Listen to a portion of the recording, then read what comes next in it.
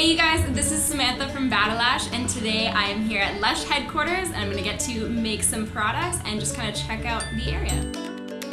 I think I was just excited to kind of see what goes on because it's one thing to like hear about it and they say that it's fresh made, like it's they're like cutting up avocados in front of you and then putting it directly into like a bath bomb. It's all fair trade, organic, whole works. Cool. Mm. Yeah, it smells like herbs. Yeah. It smells like I'm making a big herb soup right now. Yeah. Think the fresh face mask was my favorite because I got to mix it with my hands. She's doing awesome.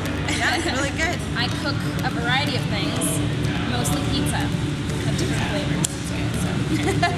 Most shocking was how horrible I was at making bath bombs, I think. You can keep that one. Okay.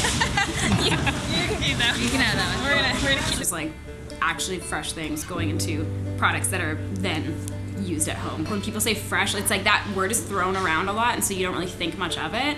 But like seeing how the product is made and then it's like directly in the stores right afterwards, like it's just crazy. So I definitely have an appreciation for it and seeing how bad I was at making those products, I'm like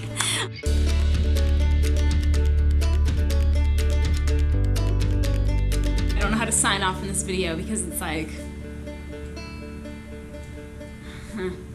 How do I want to sign off? Step out.